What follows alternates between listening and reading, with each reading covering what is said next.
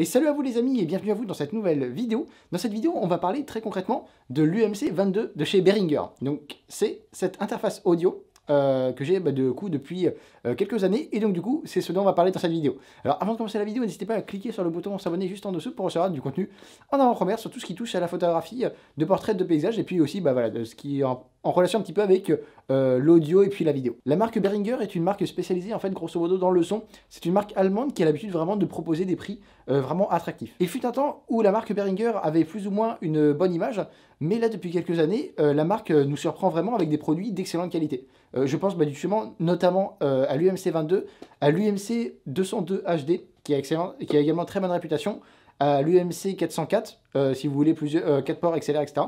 Vous avez également des micros comme le Beyers Dynamic, le BA85 qui me semble, le Beta qui est vraiment très très bon également. Vous avez également le XM 8500 qui a été vendu énormément et qui au final donne une, enfin, quand même une très bonne qualité. Donc en fait il y a vraiment des produits un peu phares bah, tels que tout ce que je viens de citer euh, qui ont vraiment euh, parcouru leur, chemin. Et donc, euh, bah, du coup, Behringer n'a plus vraiment cette image, non plus vraiment entrée entrée de gamme. Donc, du coup, vraiment très intéressant. Et donc, c'est ce que je vais vous parler du coup dans cette vidéo. Sans plus attendre, parlons de la bête. L'interface audio est au final des plus simples et il n'y a aucun bouton qui est là pour faire joli. Nous avons donc ici une prise XLR, ici la prise instrument, ici le bouton pour s'écouter en direct avec le casque et ici la sortie casque. Les trois molettes qui sont ici sont au final euh, pour régler en fait bah, le gain, le volume euh, des trois sauces que je viens de citer auparavant. Ici vous avez donc euh, deux sorties pour les enceintes. Ici vous avez du coup le bouton avec l'alimentation fantôme et ici vous avez tout simplement l'USB hum, de type B que vous après vous branchez avec un câble directement sur votre ordinateur avec une prise donc du coup USB euh, euh, traditionnelle. C'est donc au final une interface euh, très complète qui suffit largement si vous êtes une personne seule souhaitant bah, du coup faire du podcast, de la voix off ou bien du stream tout simplement. Alors l'interface audio enregistre dans une résolution de 16 bits et de 48 kHz. C'est pas ce qu'il y a de plus élevé mais en tout cas voilà pour une utilisation amateur ça suffit largement et donc votre audience ou même vous vous noterez même pas la différence un des aspects les plus importants euh, d'une interface audio reste bien entendu la qualité des pré-remplis. En général, ce que l'on souhaite obtenir d'une interface audio, c'est tout simplement une qui nous permette euh, d'avoir un gain suffisamment euh, intéressant et puissant pour alimenter facilement un micro bah, de type dynamique, et en même temps, on veut euh, une interface qui nous fait récolter le minimum de bruit de fond possible. Donc du coup, ça, ça dépend directement en fait de la qualité euh, des préamplis. En l'occurrence ici, l'UMC22 euh, s'en tire vraiment très bien. En audio, il y a une caractéristique qui s'appelle l'équivalent input noise. Vous allez savoir avec cette valeur si du coup l'interface audio que vous voulez choisir a beaucoup de bruit de fond ou pas. Donc ici, et étrangement, l'UMC22 s'en tire vraiment très bien. Elle a du, coup un equivalent input noise de moins 127,9. C'est donc un résultat excellent et c'est donc considéré comme une interface audio qui génère extrêmement peu de bruit de fond. C'est-à-dire qu'au final, avec l'UMC22, donc euh, dans ce cas-ci présent, euh, vous pouvez euh, tourner quasiment au maximum du coup la molette du gain du micro, donc c'est-à-dire celle-ci, vous pouvez la, tourner bah, quasiment au maximum sans au final obtenir et récolter euh, des bruits de fond. Donc c'est juste excellent parce que bah, du coup souvent quand on utilise des micros dynamiques euh, comme le SM57 que j'ai, le SM7B, le SM58 etc, il faut tourner un peu bah, de manière assez forte la molette parce que en fait c'est des micros qui ont une sensibilité très basse. Et donc des micros qui ont une sensibilité très basse, il faut automatiquement, euh, enfin ils sont très gourmands en gain et donc il faut tourner quasiment au maximum le fameux petit potard du gain.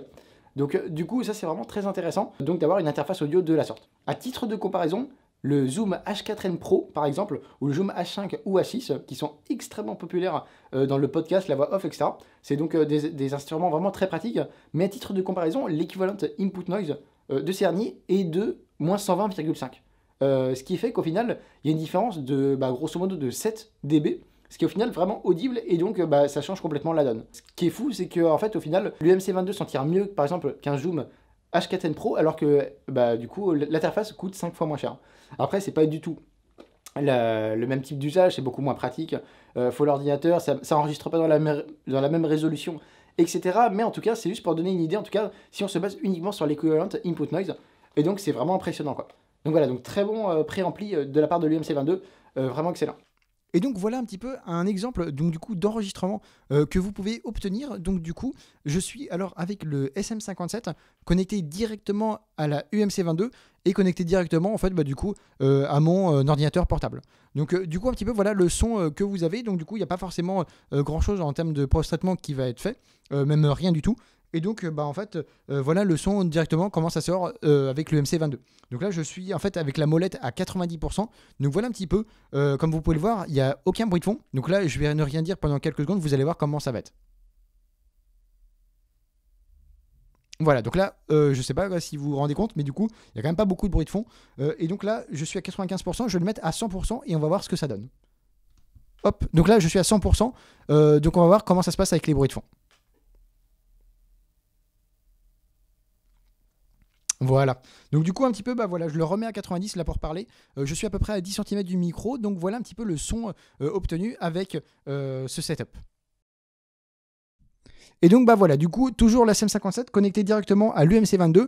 Et donc là du coup je vais juste réduire les bruits de fond sur Audacity et amplifier le son pour qu'il soit au niveau optimal. Et donc on va voir bah, du coup ce que ça donne. Donc concernant toujours les préamplis, un autre point qui est toujours important, c'est de savoir en fait combien de gains peut fournir l'interface. Ici, l'UMC22 s'en tire quand même plutôt bien avec un gain apporté de 48,6 dB. Donc ce qui fait qu'au final, bah, c'est quand même suffisant pour moi alimenter en tout cas mon SM57, même si je dois le tourner le potard quasiment, enfin voilà, 90%, un truc comme ça, ça reste quand même euh, suffisant pour ça. Pour le SM7B, c'est vrai que ça ferait quand même un petit peu juste, mais en tout cas, voilà, c'est quand même assez intéressant. À titre de comparaison, bah, les natives instruments euh, audio 1 et 2, euh, bah, du coup, ils apportent 44 dB, donc du coup, c'est quand même pas et ouais, c'est quand même pas énorme, alors qu'ils écoutent bah, du coup euh, trois fois plus cher, par exemple pour la audio 2. Donc vraiment intéressant, et donc 48,6, c'est quand même pas si mal que ça. si vous voulez un tout petit peu plus, bah, je vous conseille d'aller directement vers le modèle UMC 202 HD qui fournit 52 dB, donc c'est déjà beaucoup mieux. Enfin, c'est déjà quand même de manière significative un peu mieux. Et en plus de ça, bah, enfin, l'équivalent input noise de la 202 HD, elle est excellente parce qu'elle est à moins 129,1. Donc euh, ouais, l'UMC 202 HD, elle est excellente bah, sur énormément d'aspects. Mais en tout cas, voilà, donc avec l'UMC 22, voilà, pas, pas trop de soucis pour alimenter des micros dynamiques. Euh, donc euh, intéressant là-dessus.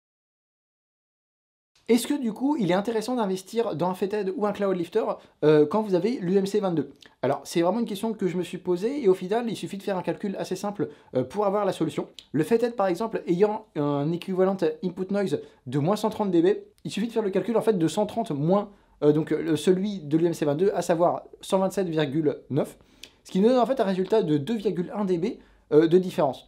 Donc, c'est-à-dire qu'en fait, vous allez gagner 2,1 dB en fait de manière propre euh, sans bruit de fond, etc. Avec du coup le Fathead. Donc est-ce que ça vaut le coup euh, d'investir 68 euh, euros dans ça? C'est pas forcément si clair que ça.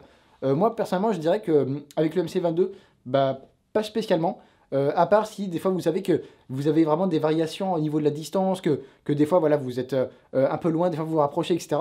Bah là du coup ça peut être intéressant de mettre bah, du coup le potter à 60%, parce qu'en fait c'est grosso modo euh, ce que vous allez faire si vous avez un fathead, vous allez sûrement mettre le potter à 50-60% sur le MC22, parce que moi je l'ai essayé et j'en ai un. Et du coup, ça peut être intéressant si des fois vous êtes à 20 cm, euh, des fois vous vous remettez à 10 cm, etc.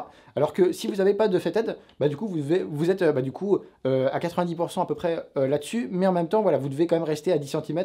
Il n'y a pas trop d'écart, vous ne pouvez pas trop bouger comme ça. Alors voilà, pour les personnes par exemple qui font du stream, etc., des fois elles peuvent crier, des fois, des, fois elles reculent un peu, etc. Donc des fois il peut avoir ça, et bah, là, je peux éventuellement le recommander. Mais en termes vraiment de gains propres que vous allez euh, bah, du coup récolter, que vous allez euh, obtenir avec ça, c'est vraiment pas significatif et donc euh, c'est pas forcément si conseillé que ça. Il faut savoir qu'on commence vraiment à entendre une différence quand il y a 3-4 dB de différence.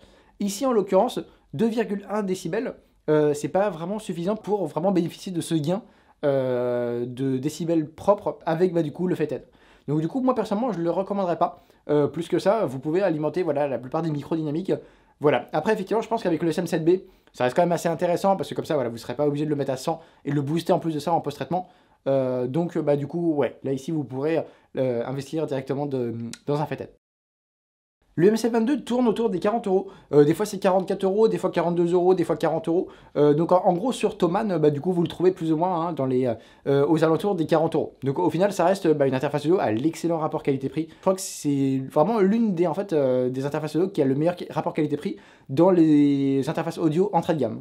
Donc vraiment très concrètement vous ne pouvez pas faire d'erreur en ayant l'UMC22. C'est vraiment une bonne interface. Me concernant, j'ai l'interface audio euh, depuis pas mal de temps, euh, ça doit faire quelques années, et au final, bah, j'ai pas du tout à m'en plaindre. C'est une excellente interface audio, très peu de bruit de fond, euh, un gain suffisant pour amplifier la plupart des microphones, et puis en fait, bah, très simple d'utilisation. Elle suffit donc du coup totalement bah, pour faire du stream, de la voix off, du podcast, etc. À condition, bien évidemment, d'être une personne seule, parce que bah, du coup, il n'y a qu'une entrée XLR. Euh, si vous voulez deux entrées XLR, moi je vous conseille directement euh, la 202 HD qui coûte 63 euros, ce qui au final, euh, bah, vraiment pas du tout cher. Vous avez deux entrées XLR, des très bons pré-remplis. Et voilà, donc c'est vraiment, elle est vraiment très intéressante et elle est dans la lignée tout simplement de l'UMC 22. Mais si vous avez besoin que d'une seule, bah, c'est largement suffisant. Et donc vous pouvez partir bah, directement là-dessus. Alors deux limites sur l'UMC 22. La première, en fait, c'est qu'elle enregistre du coup en 16 bits. Et du coup, bah, voilà, pour des trucs un peu plus professionnels, etc. C'est vrai qu'en général, on aime bien utiliser du 24 bits parce que là, il y a quand même plus de détails, etc. Et donc, ça peut être plus intéressant. Donc 16 bits, ça convient bien pour une, euh, utilisation amateur, mais professionnelle. C'est donc un petit peu limite. Après, je doute que du coup, les professionnels se tournent vers une interface audio euh, à 40 euros. Ce serait, euh, il n'y a aucune cohérence là-dessus. Donc en tout cas, voilà, pour la plupart des gens, il n'y aura pas de souci. Et la deuxième limite que j'ai pu entendre, c'est qu'à droite à gauche, il y a certaines personnes euh, qui ont dit que l'UMC22 avait parfois des problèmes euh, du coup de driver, etc. Et donc du coup, enfin voilà, au niveau du software, euh, voilà, il pouvait avoir des problèmes. Et donc bah, des fois, il y avait des incompatibilités, etc. Des fois, ça n'enregistrait pas. Donc des fois, moi, j'ai pu voir ça sur Internet, mais en tout cas, moi, en des années, j'ai jamais, jamais eu le moindre souci. Donc vraiment, après, voilà, je sais pas, il faut régler ouais, avec avec votre Windows, comment ça se passe et tout ça, mais normalement, il n'y a, pas, a pas de souci. Moi, j'ai jamais eu de problème particulier. Donc, euh, bah voilà, en tout cas, bah, j'espère vraiment que cette vidéo vous aura plu. Si c'est le cas, n'hésitez pas à donner un petit like, ça fait toujours plaisir pour moi, pour la chaîne, etc. Et moi, je vous dis à bientôt. Salut